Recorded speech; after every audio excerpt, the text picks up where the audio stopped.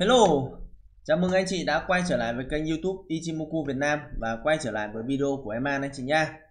À, Thị trường của chúng ta ngày hôm nay thì uh, có một cái phiên rung lắc nhẹ đúng không ạ? Tuy nhiên thì uh, uh, cái góc nhìn về thị trường uh, chúng ta vẫn đánh giá thị trường vẫn đang uh, vận động rất là tích cực. Đó thì lý do vì sao thì uh, chúng ta sẽ cùng uh, phân tích ở trong cái video ngày hôm nay anh chị nha. Đó cũng như là chúng ta sẽ đưa ra những cái kế hoạch những cái hành động dành cho anh chị. Đó và à, ngày hôm nay thì uh, em An sẽ chia sẻ với anh chị cái nhóm ngành mà cơ hội uh, bật tăng ở trong phiên ngày hôm nay sẽ rất là cao anh chị nha đấy và ba cái cổ phiếu trong nhóm ngành mà anh chị có thể mua ngay được. Đó anh chị nhé ok thì uh, trước khi mà đi vào nội dung của video thì anh chị mình có thể là ủng hộ cho em An những lượt like và những cái trái tim màu tím ở bên phần khung chat anh chị nhé ở bên phần bình luận.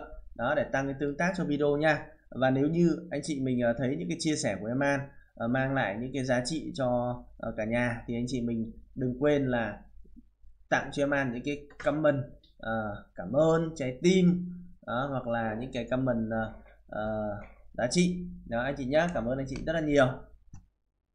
Rồi thì chúng ta sẽ đi vào nội dung của chương trình anh chị nhá nội dung của video. Ngày hôm nay thì index của chúng ta giảm 2,98 điểm đóng cửa mức là 1287,94 điểm à, chúng ta có 153 mã tăng và 241 mã giảm anh chị nhá. À, thị trường thì gần như là mở cửa thì đã có những cái uh, sắc đỏ rồi đúng không ạ? À, sau đấy thì thị trường vẫn gần như là trong cả phiên thì vẫn tiếp tục những cái nhịp rung lắc. Đó và ở trong cuối phiên buổi chiều thì thị trường uh, cũng có những cái nhịp uh, giảm mạnh hơn một chút nhưng mà sau đó thì cũng rút chân được. À, nhưng mà ngày hôm nay chị thấy là thanh khoản thì uh, nó tương đối thấp nha 16.200 tỷ một ở một phiên ờ, thị trường rung lắc mà thanh khoản khá là thấp như vậy thì em nghĩ là um, đây là một cái tín hiệu tương đối ổn cho thị trường. Cái lực cung tiết ra nó không quá nhiều. Đó anh chị nhá. Ở bên cạnh đấy thì anh chị thấy là uh, ngày hôm nay chúng ta có Vinhome này. Đó có Vinhome này có Vietcombank này. Đó Vietcombank này. Đấy, rồi một vài cổ phiếu khác thì ngày hôm nay uh, nó cũng làm cho chỉ số của chúng ta giảm khá là nhiều đấy còn các cái nhóm ngành nha. Anh chị nhìn thấy là đầu tiên chứng khoán này. Chúng ta nhìn thấy rất là nhiều sắc xanh ở đây rất là tích cực. À, ngân hàng có một sự phân hóa và cái những cái nhịp giảm thì những cái cổ phiếu giảm ấy thì cái biên độ giảm nó không nhiều. Bất động sản cũng có những nhịp giảm điểm. Tuy nhiên thì anh chị thấy là uh, so với những cái thời điểm mà rung lắc mạnh thì uh, uh, nhóm bất động sản cũng có những cái sự hồi phục khá là tốt. Đó với bên cạnh đấy thì nhóm bất động sản ngày hôm nay chúng ta thấy là có sự ảnh hưởng ờ, bởi Novaland nữa. Đó nó bị uh, tác động tâm lý bởi Novaland nữa. Nhưng mà những cái nhịp quay lại thì em nghĩ là cũng tương đối tích cực. Ờ, thép tương tự cũng có sắc xanh. Tức là chúng ta thấy các nhóm ngành chính ngày hôm nay đều đang giữ giá và có những cái nhóm ngành thậm chí là còn bật tăng rất là tốt. Đó cho nên là uh, với cái phiên giao dịch ngày hôm nay thì uh, anh chị mình cũng không có gì phải lo lắng hết. Đó anh chị nhá anh chị mình cũng không có gì phải lo lắng hết cả đấy về thị trường của chúng ta cứ yên tâm. Anh chị nha đó uh, những cái nhịp rung lắc này là những cái nhịp mà thay máu dòng tiền thôi. Đấy sau đấy thì thị trường chúng ta cái cơ hội để mà bật tăng nó sẽ rất là cao. Anh chị nha và cái cơ hội bật tăng nó như thế nào cao như thế nào thì chúng ta sẽ cùng đi qua phần thứ hai. Anh chị nha đi qua phần uh, nhận định thị trường và đưa ra các cái kế hoạch uh, hành động cho anh chị nhà đầu tư đó anh chị nha.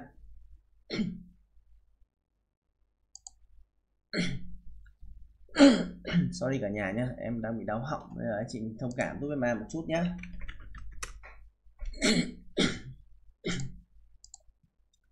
rồi ok thì ờ, về thị trường anh chị thấy là ờ, uh, index của chúng ta thì uh, chưa có nhiều thay đổi nha. Thứ nhất là thị trường đang ở trong một trạng thái tích lũy ở trong một xu hướng tăng ở trong uh, trung dài hạn đó. Và um, ở thời điểm hiện tại thì uh, về mặt ngắn hạn chúng ta đang có những tín hiệu rung lắc điều chỉnh nha. Đấy, vùng 1269 này rồi bên trên chúng ta có những vùng 1283 đây là những cái vùng hỗ trợ trong ngắn hạn uh, rất là mạnh của Vindex. Đó. Và khi mà thị trường ở trong một cái giai đoạn sideways ấy, một cái trạng thái sideways thì um, anh chị mình hãy cố gắng tập trung vào những cái cổ phiếu nhiều hơn nha đó có thể là thị trường sẽ có nhiều rung lắc trong những phiên tới nhưng mà nhất là rung lắc để đi lên đúng không ạ? Rung lắc để đi lên uh, rung lắc để rũ bỏ thôi. Uh, tiếp cận đỉnh cũ thì cần phải có những phiên rũ bỏ. Đấy nhưng mà thị trường của chúng ta ở thời điểm hiện tại thì chúng ta đã có những cái nhóm ngành uh, nó xác nhận sẽ là những cái nhóm ngành mà dẫn uh, dẫn dắt và nó có sóng ngành rồi.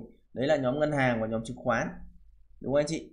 Đấy đấy là cái nhóm ngân hàng và nhóm chứng khoán. Thế cho nên là à, những cái nhịp mà rung lắc điều chỉnh này ấy, thì anh chị mình cứ yên tâm mà tham gia. Đó, và cũng đừng quan tâm quá nhiều đến chỉ số thị trường chung cũng như là những cái vùng 1300 1306 thực sự thì em nghĩ là cái giai đoạn này anh chị cũng không cần quan tâm quá nhiều đến cái con số này đâu.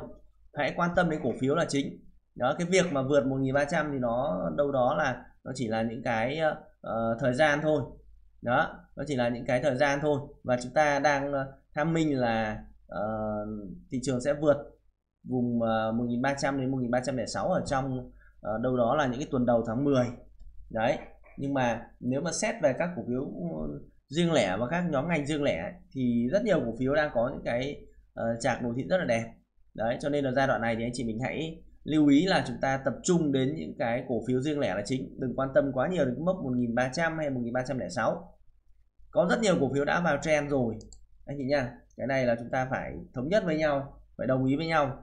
Có rất nhiều cổ phiếu vào trend rồi thậm chí có rất có những cổ phiếu đã vượt đỉnh lịch sử như là MBS đó như là ACB như là CTG đang bấp mé như là HCM cũng đang uh, vượt vùng đỉnh ngắn hạn rất là tích cực. Đó, đã vào trend rồi.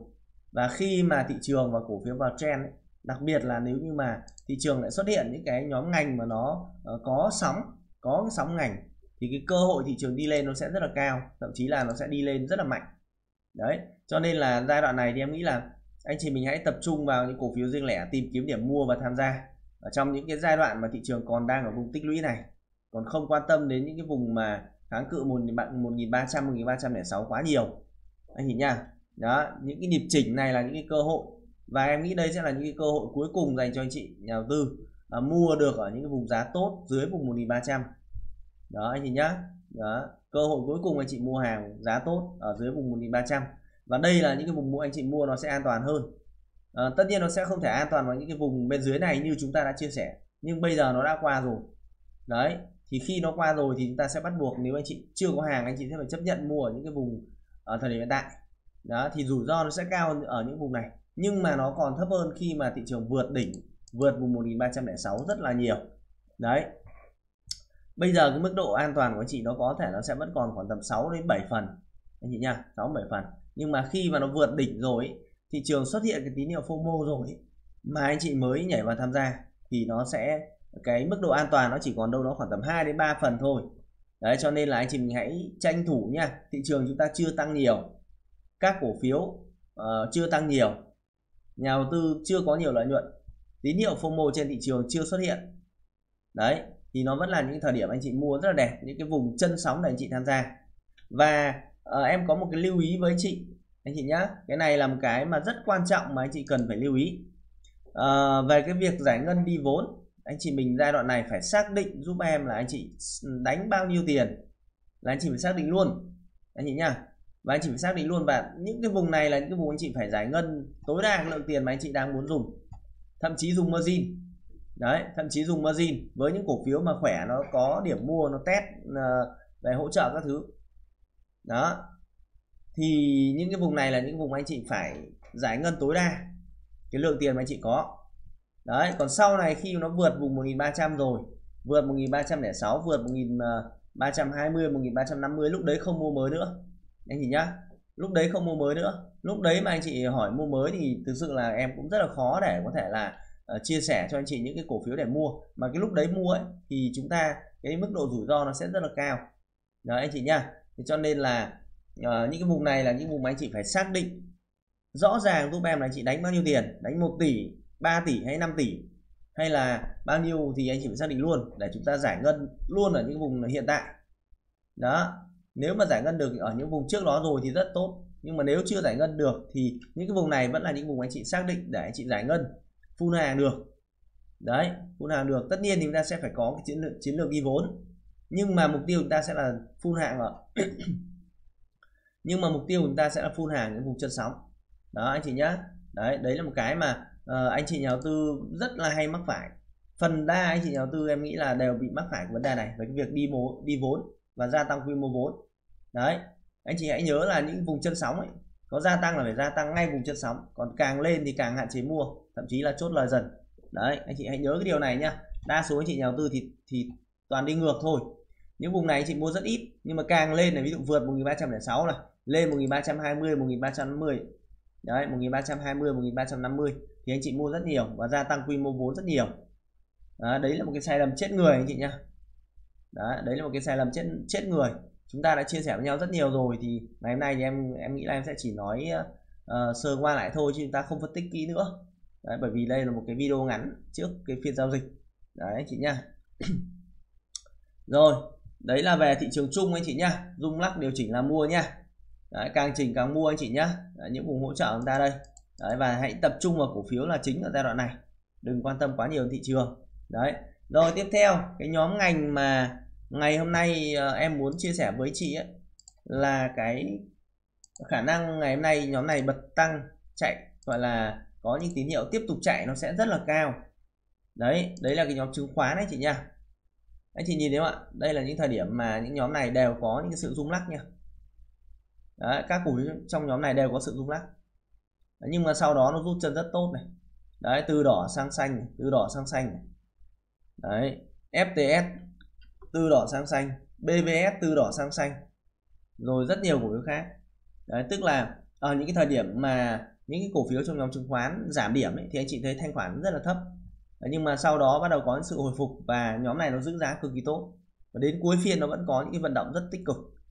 Đó cho nên là là là cái nhóm chứng khoán là cái nhóm mà chúng ta đang đánh giá cực kỳ cao ở trong phiên giao dịch ngày hôm nay. Đấy anh chị nhá ở trong phiên giao dịch ngày hôm nay. Đấy là một cái nhóm mà tiềm năng nó chạy ngày hôm nay là sẽ cực kỳ cao. Cũng rất nhiều cổ phiếu nó cũng đã có được những cái vùng nền khá tốt và có thể nó sẽ chạy được. Đấy, anh chị nhá, có thể nó sẽ chạy được. Và với cái view mà chúng ta còn đang view là thị trường vượt đỉnh. Đúng không ạ? Rồi rất nhiều câu chuyện về vĩ mô, về nâng hạ thị trường. Đấy, thì cái nhóm chứng khoán nó sẽ luôn luôn là một cái nhóm mà rất tích cực. Anh chị nhìn đến ngân hàng rồi đúng không ạ? Ngân hàng đoạn này tiền vào rất mạnh, cổ phiếu tăng rất mạnh. Đấy, thì cái thị trường, cái khả năng đi lên nó sẽ cực kỳ cao mà khi thị trường đi lên thì ai đúng không ạ? Ai là người được hưởng lợi ạ? Mấy ông chứng khoán chứ ai? Đấy, cho nên là ngân hàng chúng ta cũng có có hàng rồi. Nhưng mà khi mà ngân hàng tăng chỉ số tăng thì lợi nhất sẽ là chứng khoán.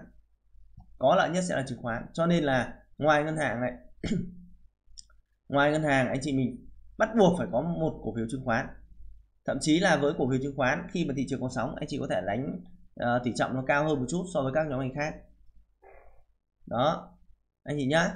Đấy, thị trường tăng các cổ phiếu khác tăng thanh khoản tăng là thằng chứng khoán nó sẽ tăng. Cho nên là uh, ở trên thị trường thì anh chị cứ uh, cứ yên tâm là uh, những cái nhóm ngành mà nó tăng ấy, rồi nó tạo được cái sự hưng phấn ấy, thì kiểu gì thằng chứng khoán nó cũng tăng. Đấy.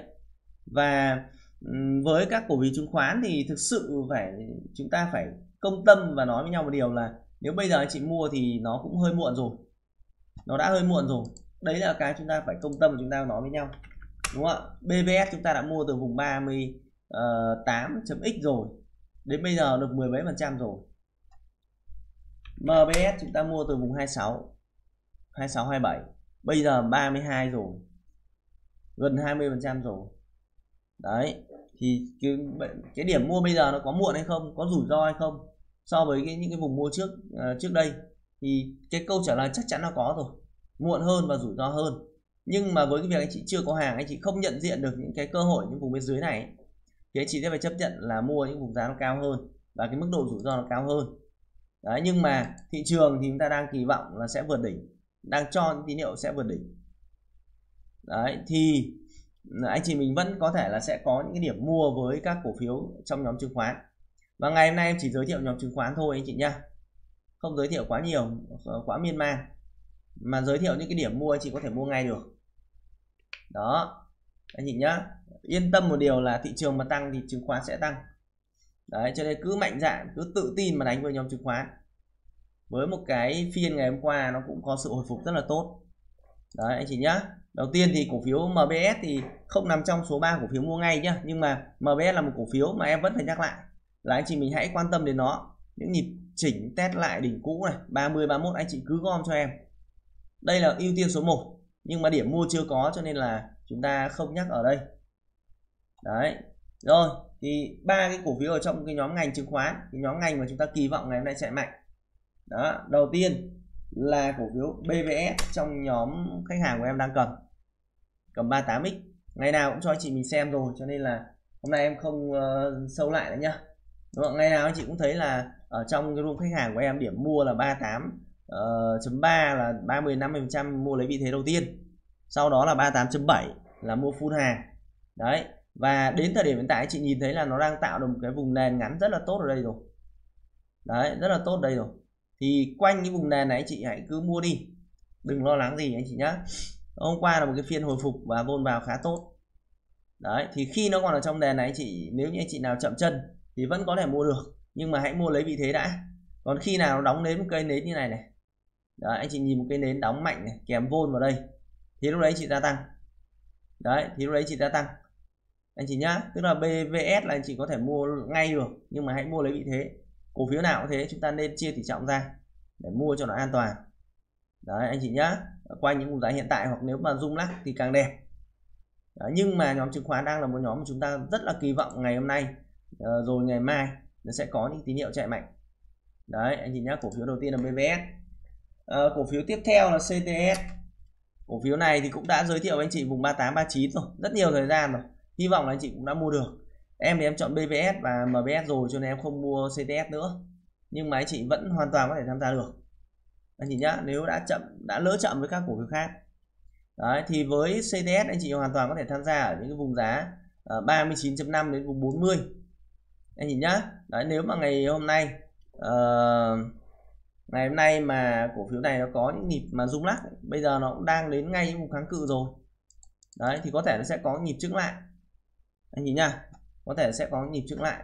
Thì cứ 40 cộng trừ anh chị nhá. 40 cộng trừ càng gần 40 càng tốt. Anh chị mua cho em với CDS thằng này sẽ chạy sau. Đây cũng là một cổ phiếu khỏe khỏe hơn nhóm ngành chung. Đấy đã vượt giao găm rồi tích lũy vôn những cái phiên này cũng rất là thấp rồi. Đấy thì anh chị có thể là tham gia với CTS ở vùng ờ, uh, 40 cộng trừ rất là đẹp. Anh nhìn nhá 40 cộng trừ. Đó thì đấy là cổ phiếu thứ hai. Cổ phiếu thứ ba sẽ là FTS nha. Đó FTS đấy anh chị nhìn thấy là một cái nhịp tăng này chỉnh một chút tiếp tục tăng. Đúng không ạ? Vôn thì hơi thấp nhưng mà với việc vôn thấp và đang có tín hiệu uh, hai kiếm tách khá xa nhau thì khả năng là C, là FTS nó sẽ có nhịp test lại. Đấy test lại test lại ờ, uh, TK nó thậm chí là test lại những vùng đỉnh cũ ở đây. 44.5 44.6 đó thì uh, với FTS thì um, anh chị thấy là cũng đã có tín hiệu vượt những vùng nền ngắn rồi. Đấy nhưng mà khả năng là um, với cái vô thấp như này thì khả năng nó sẽ có nhịp mà rung lắc một chút lại đấy thì anh chị mình nhớ tận dụng cái nhịp rung lắc một chút lại của FTS anh nhìn nha càng gần vùng 44.5 đó càng gần 44.5 càng tốt anh chị nha thì đấy là cổ phiếu thứ ba ở trong nhóm chứng khoán mà em muốn chia sẻ với anh chị ở ngày hôm nay. Anh chị nhá à, anh chị mình hãy nhớ và lưu ý giúp em một điểm là khi mà thị trường có sóng và có sóng ngành rồi có nhóm dẫn dắt rồi thì cứ tập trung vào những cổ phiếu dẫn dắt của nhóm ngành đấy để chúng ta tham gia. Anh chị nha đấy, thì hy vọng rằng là video ngày hôm nay của em An sẽ mang đến cho anh chị mình thật là nhiều giá trị. Đó cả nhà nha cả nhà nha. Đấy và hãy nhớ lưu ý giúp em một điều nữa là cái nhóm chứng khoán luôn luôn là cái nhóm mà anh chị phải có khi mà thị trường có cơ hội bước vào sống uh, ờ, uptrend hoặc là bước vào uptrend. Luôn luôn phải có. Đừng nghe cái câu chuyện định giá cao các thứ nha. Khi mà thị trường đã bước vào sóng rồi thì những cái câu chuyện định giá nó là vô nghĩa. Đấy hãy xem cung cầu và đưa ra những cái kế hoạch những chiến lược giao dịch. Đó anh chị nha thì đấy là ba cổ phiếu ngày hôm nay mà em muốn chia sẻ tới anh chị. Hy vọng rằng là sẽ mang đến cho anh chị những cái kết quả đầu tư thật là tốt và hiệu quả anh chị nha rồi ok thì em sẽ xin phép kết thúc cái video ở đây. Đó, anh chị mình nếu như mình yêu quý và muốn đồng hành cùng em An thì đừng quên là mở một tài khoản ở SSI với ID là 2770 đó, hoặc là anh chị uh, thấy là thị trường ta đã bước vào một cái chuẩn bị bước vào một xu tăng rồi cho nên là giai đoạn này là một cái giai đoạn em nghĩ anh chị có thể dùng margin được rồi. Và đặc biệt là dùng uh, đòn bẩy tài chính. Không biết anh chị đã nghe tới đánh kho bao giờ chưa? Đấy thì nếu anh chị nào muốn đánh kho thì có thể inbox cho em an. Anh chị nhá hiện tại thì bên câu lạc bộ ITP đang uh, hợp tác cùng với uh, bên uh, công ty Genstock để uh, để để để um, uh, giúp cho anh chị mình có thể là uh, tăng cái sức mua lên. Đấy anh chị uh, nếu như anh chị đầu tư ở bên GameStop ấy, thì uh, anh chị sẽ có cái mức margin uh, uh, lên tới 28 anh chị nha ví dụ nôm na là nếu như anh chị có 100 triệu thì anh chị có thể là mua và giao dịch lên tới 500 triệu. Rất là hấp dẫn đúng không ạ? Và ở một cái thời điểm thị trường thích hợp thì em nghĩ là anh chị mình có thể là cân nhắc được rồi. Đấy tất nhiên thì khi mà anh chị uh, tham gia vào game với ID của em là BR8372 ấy, thì uh, em sẽ gửi đến cho anh chị những cái chiến lược những cái điểm mua bán để làm sao cho anh chị mình an toàn nhất. Đó anh chị nhá. Thì anh chị mình có thể inbox cho em an nhá. Anh chị nào mà uh, thích an toàn và uh, và và và uh, gọi là ở những công ty công ty lớn công ty top đầu thì hãy inbox cho em an để sử dụng uh, để mở tài khoản ở SSI anh chị nào mà có cái khẩu vị rủi ro cao hơn và cái mức lợi nhuận kiếm được nhiều hơn thì hãy liên hệ với em an để mở một tài khoản ở bên Gemstock đó thời điểm này là cái thời điểm em nghĩ là anh chị có thể uh, canh để dùng được rồi. Đó anh chị nhá. Rồi ok thì em sẽ xin phép kết thúc cái video ở đây anh chị nhá. Uh, chúc anh chị sẽ có những cái kết quả đầu tư thật là tốt với ba cổ phiếu mà ngày hôm nay em an chia sẻ với anh chị. Và cũng hy vọng rằng là nhóm chứng khoán ngày hôm nay nó đi đúng với cái kịch bản mà chúng ta đang kỳ vọng là ngày hôm nay nhóm này sẽ chạy mạnh. Đó anh chị nhá. Rồi ok. À, xin chào và hẹn gặp lại anh chị. Anh chị mình nhớ liên hệ với em an nhá. Bye bye cả nhà.